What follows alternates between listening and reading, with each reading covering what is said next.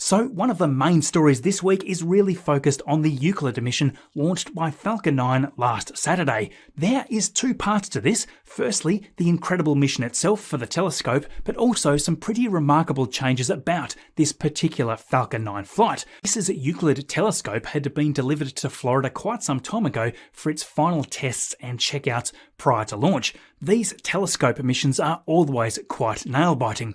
SpaceX's camera footage was incredible in this flight. There was a typical nice shot of Space Launch Complex 40 from the booster camera, but that isn't the amazing bit. Let's fast forward right through max Q and all the way up to stage separation, and we get this. Look at this amazing clarity from the second stage camera. The crispy quality here blew all of us away. Let's just compare that camera to a similar view from an older flight.